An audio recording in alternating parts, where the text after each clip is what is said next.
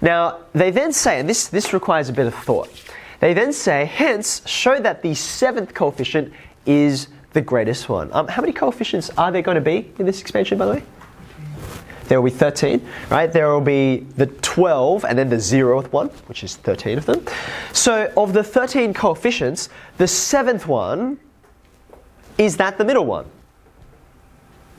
I think. In this case, it actually is, right? And why is that? Well, this 2 and this 3, they're not very different. Did you notice up here I had to make these numbers quite different in order to change where the greatest coefficient will be? So this is kind of nice. It's still going to be in the middle. But how do I show that it will be in the middle? Well, I need a bit more space to show this, but let me see, what will I wipe off? I'm going to write all of these. Okay. I need to point at something up here. You've already got this and you're working. I want to point it out and then I'm going to um, I'm going to rub it off so that we can actually do the working. Okay. I want you to have a look at the coefficients, the um, the t sub k's for all of these. Okay. So pay close attention to next bit because the piece of logic that you need is very simple. But if you don't get it, then the next is just going to be algebra soup for no reason. Okay. So what I want you to observe is one way of working out the greatest coefficient is just to work out all the coefficients, right? If you work them all out, then you can clearly see, oh, that's the biggest one, right?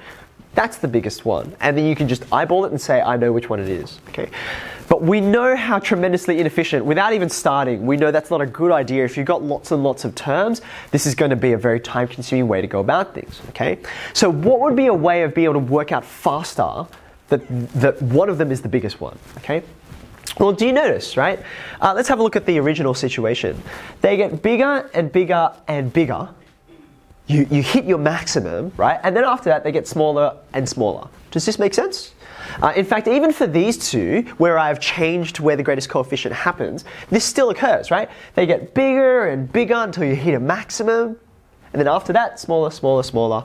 Here, you hit the biggest one straight away, and then they, they subsequently get smaller. Okay?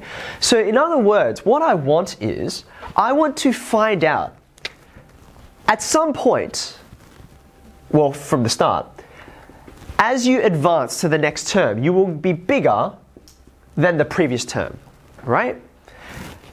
For example, here, uh, if we call this, this is T0, T1, T2, T3, T4. Okay, I can write of this first line, and maybe you want to write this with me as well, right? For this first line, I can say T0 is smaller than T1, and that's smaller than T2. But then at that point, right, this is T2 right in the middle. I know it's a bit funny because you start counting from zero, right? But that's T2. After that, it, it doesn't get bigger anymore. So T2 is bigger than T3, which is bigger than T4. Does this make sense? Right? Uh, in this case here, T0 is smaller than T1. You get bigger. But then after that, it just gets smaller and smaller and smaller. Does this make sense? And you don't need me to write this one. T0 will be the very biggest one, and everything else is smaller. Okay? So what I'm trying to find is, if I can say this, right? At, for, for many values of k, this will be true. But at a certain value of k, it stops. Right? The next term is no longer bigger than the term before it. And once you hit that point, if you can solve this, then you have found the greatest coefficient. Does that make sense?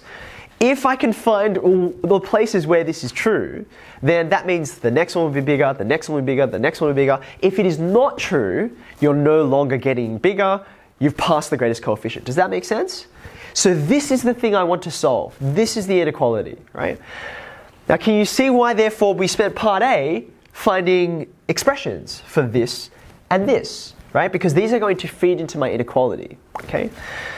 Now, the last thing I want to point out is, before we actually start to do this, have a look at t sub k and t sub k plus 1. Okay, just have a look at those expressions. Uh, because they were built off of the same, the, this formula up here, this one, right? Do you see how much they have in common? They have a lot in common, right? For example, the 12 factorials, they're just identical, right? Um, these factorials down the bottom, they are very, very similar to each other. They're only off by one, like these guys, right?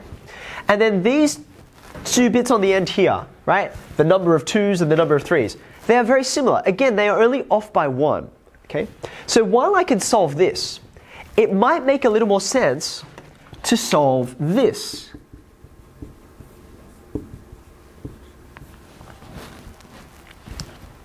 Just think about this with me, okay? If you look at these two guys here, do you agree that they are equivalent inequalities? That's a weird phrase to say. Equivalent inequalities. You're, you're solving the same thing here, right? Assuming that we're working with positive coefficients. Now, the reason why I like this better than this, it's a bit weird. We usually try and avoid fractions, don't we? We usually say as soon as you go, as soon as you see fractions, multiply through by something to get rid of them. Okay? Can anyone tell me why, looking at these two disastrous looking things, why might fractions be a really, really good idea? Have a think. So here's t k plus 1, here's tk. I'm saying put this on the top, put this on the bottom. If you divide this, sorry, if you divide this by this, you're going to have a lot of cancelling, right? Like every single term that you've written will have some form of cancelling. For instance, this 12 factorial and this 12 factorial. What's going to happen to them? Just gone immediately, right? Uh, have a look at this k plus 1 factorial and this k factorial. Out of these two, you're dividing this one, this will be on the numerator, this will be on the denominator, right? One of them is going to completely vanish. Which one? This one. This one is smaller, yeah? So all of these will go. And all you'll be left with is the very last term in this factorial, just the k plus 1 part, right? So you can see, you can match up this guy with this guy, you can match up these two, you can match up these two, you can match everything, okay? So this is what I'm going to try and find. I'm going to find the expression for that. It's going to take a bit of work to write it the first time, but then once I do, I can just go to town cancelling everything and I'll come up with something quite nice and neat. Okay? And you can see that's what we've got over there in the question. So I need to wipe things off, but what I want you to do is write down this, this, this fraction here. Okay? And then just begin to substitute this whole thing and this whole thing in the numerator, in the denominator, and then we're going to start cancelling together. You've got to be quite careful when you do it. Okay? So begin by writing that while I make myself some space. So what have I written down? Well, here's t of k plus 1, right down here. And here is t of k, rather than write fractions on fractions because it will become quite messy. I've just written this divided by that. Okay, so I've got a big fat division sign so I don't mistake it for a subtraction sign. And then I want you to have a look. You'll notice that I have underlined a few terms, and I've underlined some very specific ones. Okay, um, firstly, before I explain that, you'll notice that the 12 factorial here and the 12 factorial here, they're just going to disappear on my next line. Are you okay with that? I'm just going to cancel them straight out. Okay. But now I want you to notice why I've underlined these four terms in particular. Right? Do you remember I mentioned that everything is going to pair up? So you've got after your 12 factorials are done, okay, you've got one, two, three, four terms on the left that are going to match up with one, two, three, four terms on the right, okay? But what I've underlined in each case is that depending on which term you're looking at, one of the terms will be bigger. Let me say that again, right? Depending on which terms you are matching up, one of the terms in the pair will always be bigger than the other one, okay? So for example, if we go through this in order, right? You've got 2 to the power of 11 minus k. And what it matches up with is 2 to the power of 12 minus k. Now, which one of those is bigger? Well, this one is bigger because there are 12 lots of 2 being multiplied. This one only has 11. Okay? So therefore, all of these terms, every single one of the 2's in here, however many there are, they will all disappear in a minute. They will all be cancelled out. How many will be left over here? One. Exactly one. Okay? Um, if you have a look at the same way, over here and here, these are the 3's, and they are going to pair up. Which one of them is bigger? Well, this one is bigger because it has exactly one more 3 than this guy. Does this make sense? So what I'm going to encourage you to do is to do this same kind of like highlight for yourself. Where am I going to have the terms that are remaining? Because everything else is going to cancel out, right? So now I'm going to begin. You can see that I've already, I'm not going to write my 12 factorial, okay? Um, I, I see here, right, out of these two terms, here's a big fraction, divide, here's a big fraction. This one is all going to disappear, which leaves me just with 2 from there. Does that make sense? Like everything else from the twos will go. Okay?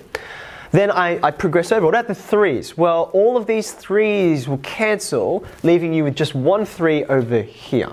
Does that make sense? So I'm just going to write three. I've done with my numerator. See, it, it looks bad, but if you patiently go through it and use some color to help yourself, it's not that hard to work out what's what.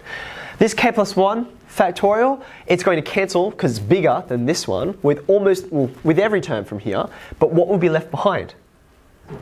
Just the, the biggest part, which is just k plus 1. And then you finish out over here because all of these terms from this factorial will disappear, only leaving you with the biggest term from this one. What is the biggest term in this whole factorial? It's going to be the, the last term along, right? 12 minus k. So I'm going to write 12 minus k. There you go looked like a bit of a dog's breakfast when we started, right? But the point of dividing these is because we know in advance they will cancel out and leave us with something neat, okay? So now that I've actually done my canceling, I'm going to, you know, multiply, take the reciprocal. You can see I end up with this and this. Look at the question, does that look familiar to you? Are you happy? Right. So in a large number of cases, they will give you this result because they really want you to get to the next part. But sometimes they won't, and it's up to you to be able to work out this part on your own. So you have to be quite careful with the way that you set out your algebra. Okay?